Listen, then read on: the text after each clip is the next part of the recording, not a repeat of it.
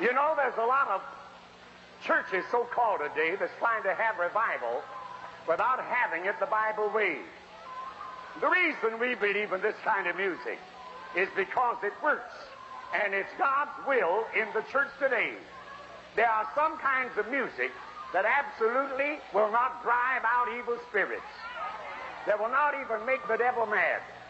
But to quote some scripture to back this up, in 1 Samuel, from the 16th chapter, the Spirit of the Lord had departed from a man named Saul. The anointing of God came upon a prophet, and he said to Saul, Seek out a man who is a cunning player on an harp. And it shall come to pass that when the evil spirit is upon thee, that he shall play with his hands, and thou shalt be made well. And Saul said unto his servants, Provide me now a man that can play well.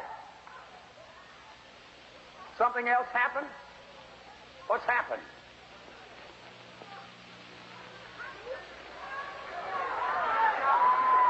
Is this the girl that was blind?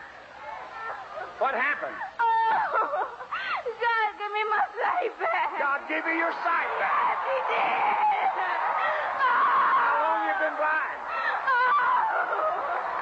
I've had four operations on my eyes, Uh-huh. but it's been coming gradually.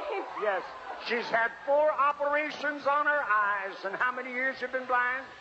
It's been about a year. About a year. And suddenly your sight returns. Yes. And God heals it. Yes. Go on down there and shout. Raise your hands and shout, everybody.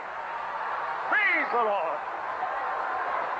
This woman's been totally blind. She's had four operations on her eyes that didn't work.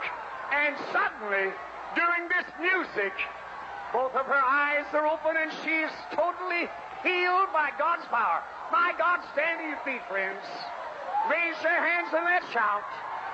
Let's praise the Lord. Oh, yes. You see what I mean?